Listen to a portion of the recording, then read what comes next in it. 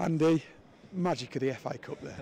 Magic, yeah, it was brilliant. Uh, obviously, I think uh, we owed these guys one. We've come here in the season and didn't put in a great performance for ourselves and came away with a draw. And obviously, a week or so ago, they beat us at home. So it was nice to come here and get a bit of retribution. And uh, I think we performed much better today. It was uh, a good doggy performance, but then obviously when we got the goal, sort of sat off for a little bit and let them go back into the game. But I think the character we showed at the end, we were all over them for sort of five minutes and then got what we deserved with the penalty, thankfully, and uh, yeah, in the hat for the next round. Just said to the head coach there, it shows the determination and desire of this side that they weren't going to sit back when we did concede and we didn't show any disappointment and we really bombarded them for those last six or seven minutes or so.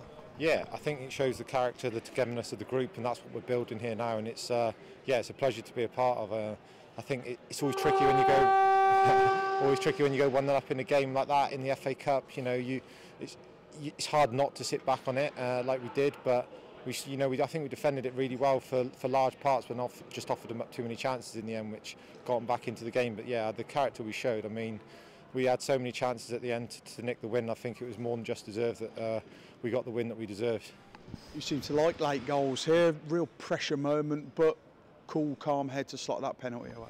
Yeah, I think so. I, did, I, I didn't feel too bad. I was looking forward. You know, I, I, knew before the game. I think the last game I was on the penalties, so I was more than confident enough to step up and take it. I wasn't sure whose name was on the board. That was my only worry when Isaac had asked for it. I wasn't sure if it should have been him, but no one had told me otherwise. So I was more than happy to take the responsibility, and uh, yeah, thankfully stuck it away and uh, put us in the hat in front of those travelling fans as well, over 1,400 of them. Fantastic again today. Incredible, yeah. You know, I've had a couple of nice moments in front of the fans here at this at that end of the ground, and uh, it was nice to have another one today. Uh, sort of an awkward celebration. I probably should have celebrated with them more, but you know, I was looking for for a shirt for for one of our players. But yeah, that that's meant to be for another day, maybe.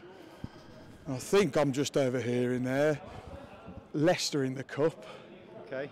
Li- not 100 li- not, li- not Liverpool, not 100% confirmed, but if it is a Premier League team, that's a real bonus for us. Yeah, massively. I think it's uh, important for clubs, especially at this level. You know, the, these are the sort of times where you can really bolster your budget or help the club in so many ways just to get a bit of money in the pocket. And, and also for the fans, you know, there's a lot of fans at this level that will be used to coming and watching League Two football, and it's nice for them to hopefully be able to see a Premier League club.